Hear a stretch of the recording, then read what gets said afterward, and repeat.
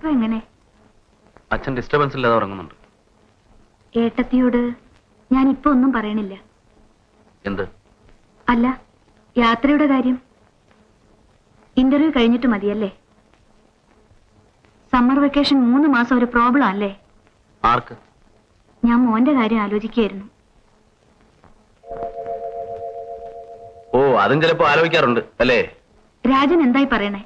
രണ്ടു കൊല്ലത്തെ ഫെലോഷിപ്പ് അതും ഹാർവാർഡിൽ.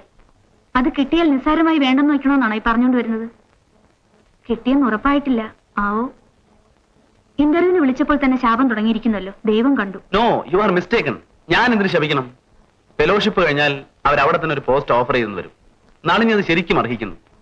M S C first class first rank രണ്ടു കൊല്ലത്തെ research experience brilliant records brilliant ഇനിയും ഒരുപാട് നേട്ടങ്ങൾ ഉണ്ടാവട്ടെ അപ്പോഴേക്ക് രാജന് പറ്റിയ വല്ല പോസ്റ്റും അമേരിക്കയിൽ കിട്ടിയാൽ വരാമല്ലോ. എത്ര ആളുകൾ അവിടെ സെറ്റിൽ ചെയ്ത് സ്ഥിരതാമസമാക്കുന്നുണ്ട് എനിക്കിപ്പോഴുള്ളതൊക്കെ ധാരാളം മതി. വളരെ പരിമിതമാണ് മോഹൻ. ആഗ്രഹിച്ചതിലധികം കിട്ടിയെന്ന് പലപ്പോഴും തോന്നിയിട്ടുണ്ട്. അസിസ്റ്റന്റിന്റെ പണിക്ക് വന്ന ആളെ ഓഫീസറാക്കിയതിന് മരിച്ചുപോയ എന്റെ അച്ഛനെ ശപിക്കുന്നില്ലല്ലോ. അത് അച്ഛന്റെ ഗ്രേറ്റ്നെസ് ആയിരുന്നു. ആളുകളെ അളക്കാൻ അച്ഛന് കഴിയും. അളവും പിന്നെ കണക്കും. കണക്ക് കൂട്ടുന്നതിലായിരുന്നു കൂടുതൽ വൈദഗ്ധ്യം.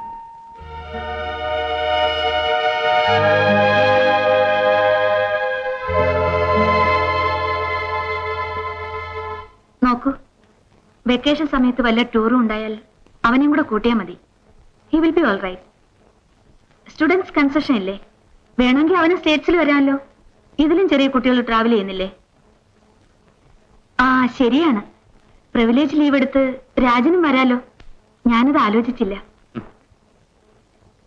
എന്താ ഒരു പരിഹാസം? ഒരു കോടീശ്വരന്റെ മകളായിരുന്നുവെങ്കിൽ നീ എന്താ പറയാന്ന് വെറുതെ ആലോചിച്ചു പോയി ശനിയും ഞായറും അങ്ങോട്ട് വരാലോ. അങ്ങോട്ടെന്ന് വെച്ചാൽ അമേരിക്കയിലേക്ക്. നാടൻ ശൈലിയിൽ പറഞ്ഞാൽ സംബന്ധത്തിന്. ഭാര്യയ്ക്കൊരു ഭാഗ്യം വരുമ്പോ അസൂയ തോന്നുന്ന ഒരാളെ ഞാൻ ലൈഫിൽ ആദ്യമായിട്ടാണ് കാണുന്നത്. വിശ്വസിക്കാൻ പ്രയാസം. അസൂയല്ല വിശ്വസിച്ചോളൂ. സന്തോഷം. നീ ആകാശത്തേക്കാൾ അപ്പുറം എത്തിയാൽ അതിസന്തോഷം. നോക്കൂ ഒരു രണ്ടു കൊല്ലല്ലേ രണ്ടു കൊല്ലത്തെ വിരഹദുഃഖമല്ല എന്റെ പ്രശ്നം. എന്നും ടൂറും കമ്പനിക്കാരുമായി നടക്കുന്ന ഒരു അച്ഛൻ. ഭൂഗോളത്തിന്റെ മറ്റേ അറ്റത്ത് കഴിയുന്ന അമ്മ. ഇവന്റെ കാര്യമാണ് പ്രശ്നം? പറഞ്ഞത് തന്നെ പറഞ്ഞ് നേരം വെളുപ്പിക്കും. വെക്കേഷൻ മാത്രമാണ് പ്രോബ്ലം അടുക്കള പണിയും കുട്ടിയെ നോക്കലും മാത്രമാണ് സ്വർഗം എന്ന് കരുതുന്ന ചിലരുണ്ടാവും. ചിലർ. അതത്ര മോശമായ കാര്യമൊന്നും എനിക്ക് തോന്നിയിട്ടില്ല. അങ്ങനെ ഒരുത്തി മതിയായിരുന്നു എന്നിപ്പോ തോന്നുന്നുണ്ടോ? എന്റെ തെറ്റല്ല. സെൽഫിഷ് അൺഗ്രേറ്റ്ഫുൾ ഹിപ്പോക്രൈറ്റ് മുത്തച്ഛൻ മരിച്ചോ?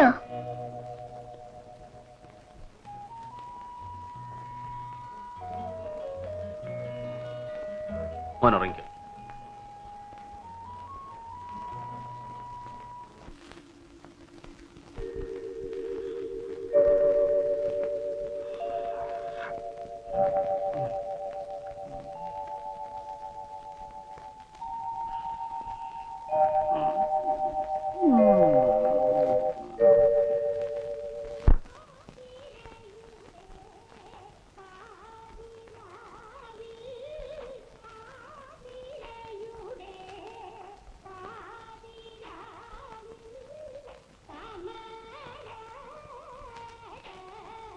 രാജൻ ഉറങ്ങിയില്ലേ?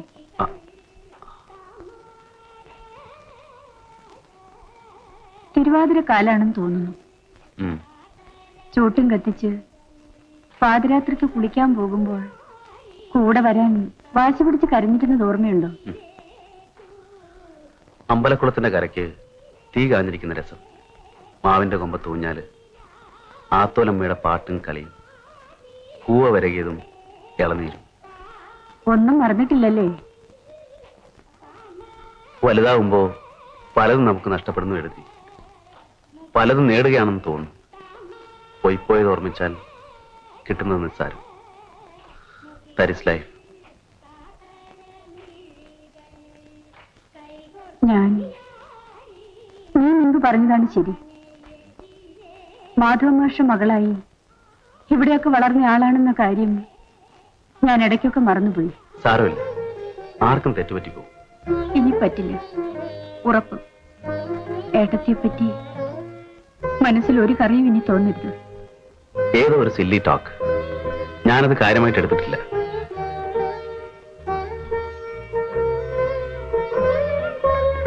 നമ്മളൊക്കെ പലതരം ഭാരങ്ങൾ ചുമക്കുന്നു. ഞാനും വളരെ അപ്സെറ്റാണ് എല്ലാവർക്കും ഉണ്ട് പ്രോബ്ലംസ് നളിനി അടുത്ത് അമേരിക്കയ്ക്ക് പോകുന്നു. രണ്ടു കൊല്ലത്തെ ഫെലോഷിപ്പ് രണ്ട് ചിലപ്പോ മൂന്നും നാലും ആകാം. പിന്നെ ഗ്രീൻ കാർഡ് യെല്ലോ കാർഡ് അവൾ എന്തൊക്കെയോ ചില നിയമങ്ങളൊക്കെ പറയുന്നത് കേട്ടു. അപ്പോൾ ബാബു? ബാബു എന്റെ കൂടെ. ആരോടും പരാതിപ്പെട്ടിട്ട് കാര്യമില്ല. അവളുടെ കരിയറാണ് എന്റെ ഫേറ്റും എന്തിന്റെ കുറവാ എനിക്ക് ഇവിടെ നിന്നാൽ. കുറവ്. ഏട്ടത്തിക്ക് എന്തിന്റെ കുറവായിരുന്നു? വലിയ പൊസിഷനിലുള്ള ഭർത്താവ് മിടുമിടുക്കത്തികളായ രണ്ട് കുട്ടികൾ. സൗകര്യങ്ങൾ പണം. എന്നിട്ടും എപ്പോഴൊക്കെയോ അസംതൃപ്തി തോന്നി. ഇല്ലേ?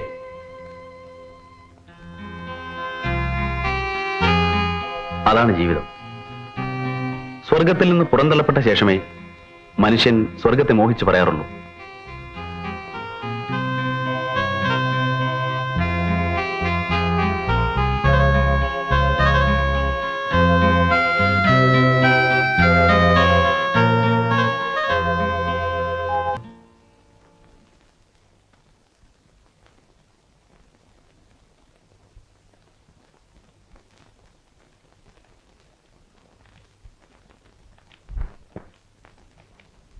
ഇപ്പോ സുഖം തോന്നുന്നുണ്ടോ?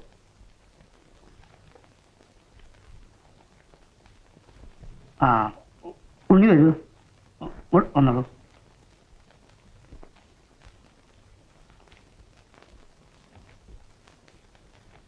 അന്നൊരു സ്ഥലം വാങ്ങണ കാര്യം സീതാലക്ഷ്മി അച്ഛനോട് പറഞ്ഞിരുന്നല്ലോ. അത് ശരിയായി. ഇനിയൊരു വീടുണ്ടാക്കണം. സുഖമില്ലാതെ കിടക്കുമ്പോ ഞാൻ ഞങ്ങളുടെ കഷ്ടപ്പാട് പറയുന്നില്ല. ആലോചിച്ചാ അറിയാലോ. ഞങ്ങൾക്ക് രണ്ട് പെൺകുട്ടികളാണ്.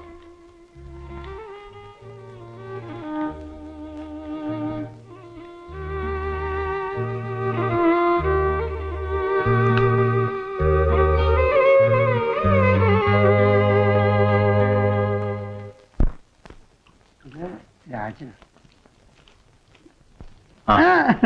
ഇത് രാജന. കടുപ്പ് കൂടുതലാ. അകത്ത് കൂട്ടി വെച്ചിട്ടുണ്ട്. ഞാൻ പോകാൻ നോക്കുക തന്റെ കണക്ക് ശാസ്ത്രം കേട്ട് കാത്തു നിന്നാലേ ഇപ്പൊ തന്നെ എല്ലാം തെറ്റി. അതപ്പൊ നന്നായത്. ശാസ്ത്രപാരം കാണുന്നത് ഞാൻ പറയണം. താൻ വലിയൊരു എക്സ്പെർട്ട് പോളോ അവിടുന്ന്. ഏ പിന്നെ നിങ്ങളുടെ സൗകര്യത്തിന് മാഷിയം കൊന്നു തരണം? ഇപ്പൊ നന്നായത്. ആ വേഗം പുറപ്പെടാന്നോ. ഇനി ഇവിടെ കാത്തു കെട്ടി നിന്നിട്ട് എന്താ കാര്യം? ഇപ്പൊ പോയ ട്രാൻസ്പോർട്ട് കിട്ടും. ഏട്ടത്തെയും കുറച്ചു കഴിയുമ്പോ പുറപ്പെടാറായി. നമ്മളെ വിട്ടിട്ട് പോകാൻ പറയാം. അവർക്കതൊരു വലിയ വളവല്ലല്ലോ. കാറിലല്ലോ എന്നും നമ്മുടെ യാത്ര. നീ വേഗം റെഡിയാവുന്നുണ്ടോ എങ്ങനെ പോയാലും ഡിന്നറും തേങ്ങാക്കളും എല്ലാം കഴിഞ്ഞേ നമ്മളവിടെ എത്തൂ. നാശം. എന്നോട് എന്തിനാ അതിന് ചാടി കയറുന്നത്? മനുഷ്യാവസ്ഥയല്ലേ? അങ്ങനെയൊക്കെ വരും. എല്ലാവർക്കും ഞാനൊരു നിസാറിന് ഇവിടെ. നിനക്കും. നിന്റെ ഏട്ടനുണ്ടല്ലോ.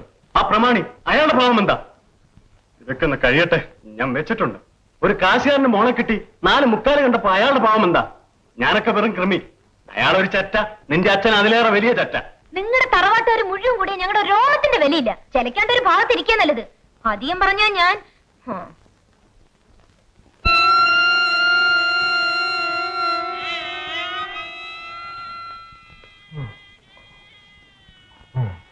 സൂക്കേടൊക്കെ മാറിയിട്ട് അച്ഛൻ അങ്ങോട്ട് വരണം. കണ്ണിന്റെ ഓപ്പറേഷന് അവിടെ ഞങ്ങൾ വേണ്ട ഏർപ്പാടൊക്കെ ചെയ്യാം. കുട്ടികളെയും കൂട്ടി അടുത്ത ദിവസം വരാച്ച എന്തെങ്കിലും വിവരം ഉണ്ടെങ്കിൽ വിളിക്കാൻ ഏൽപ്പിച്ചിട്ടുണ്ട്. നടക്കട്ടെ അച്ഛ. ഏടത്തി വഴിക്ക് ഞങ്ങളെ വിട്ടോളൂ. ഇറങ്ങട്ടെ ഏട്ടാ.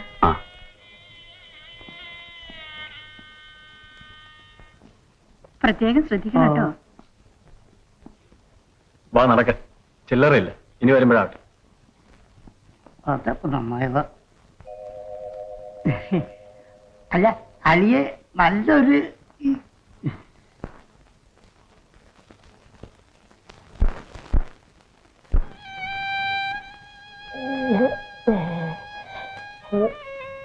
എന്താ വേണ്ടത്? എന്തോ പറയാൻ വരുന്നുണ്ട്. അച്ഛൻ സംസാരിക്കാൻ ശ്രമിക്കണ്ട. അനങ്ങാതെ കിടക്കും. ഇപ്പൊ കുറച്ച് സുഖമുണ്ടല്ലോ. ഞാൻ പുറത്തു പോയി വന്നല്ലോ പോയാ പിന്നെ കുടിച്ചു ബോധമില്ലാതെ കിടക്കണോടത്തുനിന്ന് നിന്നെ താങ്ങിക്കൊണ്ട് വരേണ്ടി വരും. എവിടേക്കും പോകണ്ട. പോയവരുടെ കയ്യിൽ നിന്ന് എന്തോ ചിൽവാനം കിട്ടിയിട്ടുണ്ടല്ലോ. അതിന്റെ വെപ്രാളമാണിത്. പോയി അടക്കള പണി എവിടെ ഉണ്ടെന്ന് നോക്ക്. അകത്ത് സഹായത്തിന് ഇപ്പൊ ഒരാളും ഇല്ലല്ലോ. അതാണൊരു വിഷമം.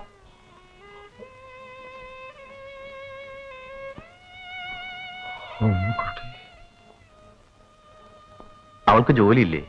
വെറുതെ എന്തിനാ ആളുകളെ ബുദ്ധിമുട്ടിപ്പിക്കുന്നത്? എന്താ പറഞ്ഞത്? മാഷെന്താ പറഞ്ഞത്? അമ്മുക്കുട്ടി വരും. ഞാൻ പറഞ്ഞു ആരാ ചാമുക്കുട്ടി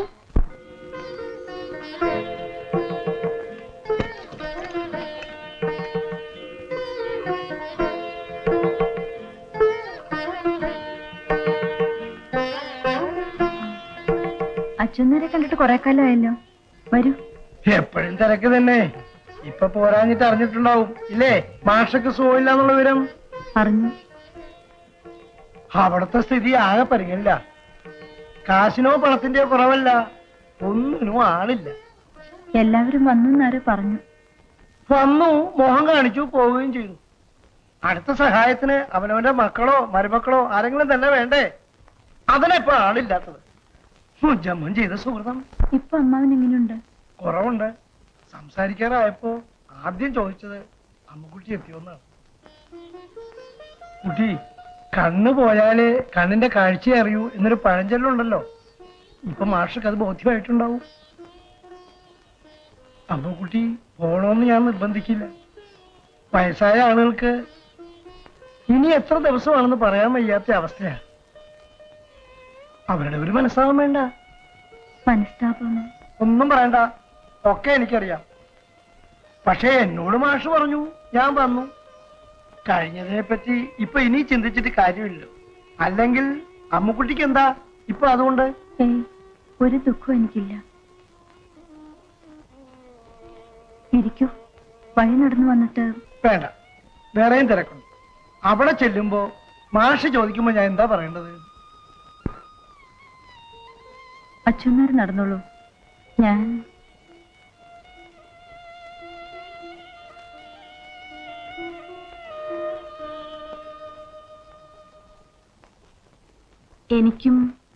അവിടെ ചില അത്യാവശ്യ ജോലികളുണ്ട്. സൗകര്യം പോലെ പിന്നെ പറയും. ഞാനൊന്ന് പോയിട്ട് വരാം. അവൻ ഇവിടെ നിൽക്കുകയാണത്രേ. ഞാനിപ്പോ പോകുന്നില്ല. എനിക്ക് തിരക്കില്ല. ലീവുണ്ട്.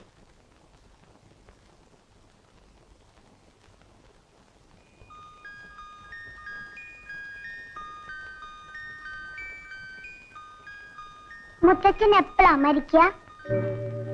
നീ വരില്ലല്ലേ അവൻ ഇവിടെ നിൽക്കട്ടെ. ശരി സൗകര്യമുള്ളപ്പോ വന്നാ മതി രണ്ടാളും.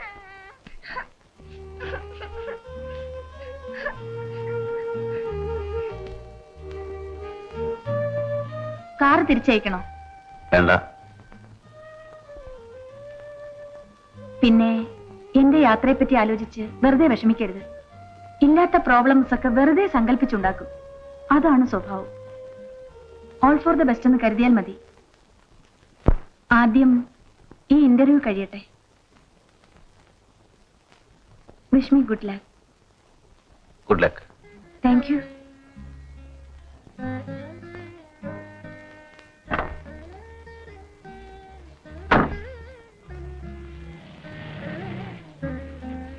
All for the best and good best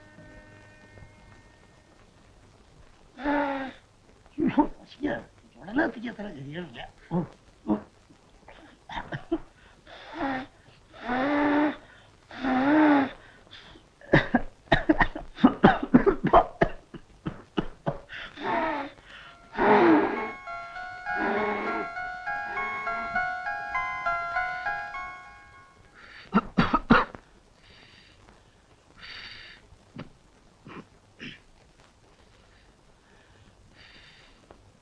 മിസ്ട്രസിന് ഇങ്ങോട്ടുള്ള വഴിയൊക്കെ അറിയോ? മിസ്ട്രസ് ആയില്ല. ട്രെയിനിങ് കഴിഞ്ഞിട്ടേ ഉള്ളൂ. ആ അബദ്ധത്തിൽ വഴി തെറ്റി വെച്ച് കാണും. അല്ലാതെ നീ വരില്ല. ഇപ്പൊ വഴിക്ക് വെച്ച് കണ്ടപ്പോ അമ്മാവന് ഇത് തന്നെ ചോദിച്ചു. അല്ല രാജേട്ടൻ എന്താ അടുക്കളയിൽ? നാണിയമ്മക്ക് വാദം. വരുന്നില്ല. ചീരു അടുക്കള കയറുന്നത് അച്ഛൻ ഇഷ്ടമല്ല. ആൾ ഗാന്ധി ശിഷ്യനാണെങ്കിലും വീട്ടിൽ അല്പം അയത്തവും ശുദ്ധമൊക്കെ ഉണ്ട്. ടോപ്പ് സീക്രട്ടാ എന്തേ മിസ്റ്റർ സുര തിരുവിളയാട്ടം ഈ വഴിക്ക്? ഞാനൊരു ശുപാർശയ്ക്ക് വന്നതാണ്. വഴിക്ക് വെച്ച് അമ്മാവനോട് പറഞ്ഞു. ഖനത്തിലൊന്ന് മൂളി. വന്നാൽ ഒന്നുകൂടി നടത്തണം നിവേദനം. എഴുത്തച്ഛന്റെ സ്കൂളിൽ ഒരു വേക്കൻസി ഉണ്ട്. രാജേട്ടൻ ജോലിക്കാരിയൊന്നും ആയില്ലേ? ജോലി ഉണ്ടല്ലോ ഇപ്പോ. ഗ്രഹഭരണം വെച്ചു വിളമ്പൽ. ശുപാർശ ചെയ്യാൻ ആരെങ്കിലും വേണ്ട പെണ്ണേ? അളിയന്മാരില്ലേ? ഓ. അടുക്കളപ്പണിക്ക് വേണമെങ്കിൽ ഇന്ന് ഞാൻ കിടന്നോളാം. ഇന്ന് മാത്രമായിട്ട് വേണ്ട. സ്ഥിരം തസ്തിയതരാലോ രാജാ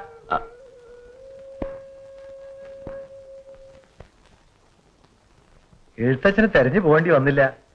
ഭൂപണയമെങ്കിൽ എന്തോ കാര്യം പറയാൻ എന്നെ നോക്കി വരികയായിരുന്നു.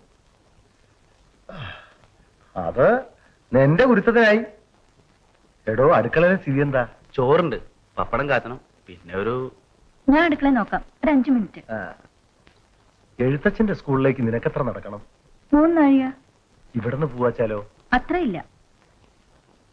നീ ഇവിടെ താമസിച്ചിട്ട് പോയാൽ എന്താന്നാ? ഇപ്പൊ ഞാൻ ആലോചിക്കണം.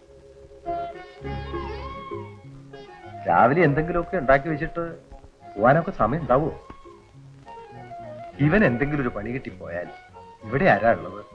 അപ്പോ അമ്മുക്കുട്ടിയുടെ വീട് പൂട്ടിയിടുവോ? നീ പറയണത് കേട്ടാ തോന്നും. അവിടെ കൊട്ടാരവും കെട്ടിയിരിപ്പുള്ള സ്ഥലമാണ്. പറമ്പില്ലക്കാരുടെ. പഴയ ആധാരപ്രകാരം ഇറവെള്ളം വീഴുന്ന സ്ഥലത്തിനെ അവകാശമുള്ളൂ അല്ല ഞാൻ പറഞ്ഞെന്ന് മാത്രം. ശനി ഞായറും ഇടയ്ക്കൊന്ന് പോയി നോക്കാം. എന്റെ സൗകര്യം പോലും മതി. ആ തലയിലെഴുത്ത്. അല്ലെങ്കിൽ പത്ത് നാൽപ്പത്തഞ്ച് വയസ്സിൽ എടുത്തിട്ട പോലെ അവളെ കൊണ്ടുപോകേണ്ട കാര്യമില്ലല്ലോ. എന്റെ തലയിലെഴുത്ത് അതാണ്. ബി എക്ക് പോയ നേരത്ത് ഞാനും വല്ല ടി ടി സി എഴുതാൻ നോക്കിയാൽ മതിയായിരുന്നു. വീട്ടുമുറ്റത്ത് പത്ത് മുന്നൂറ് റുപ്യ പരമസുഖം മുന്നൂറല്ല നാനൂറ്റി മുപ്പത്തൊന്ന് രൂപ തൊണ്ണൂറ് പൈസ പത്ത് പൈസ റവന്യൂ സ്റ്റാമ്പിന്റെ. അപ്പോ ഇനി എനിക്ക് ധൈര്യമായിട്ട് കടം ചോദിക്കാം. അല്ലെങ്കിൽ എന്തൊരു കടം?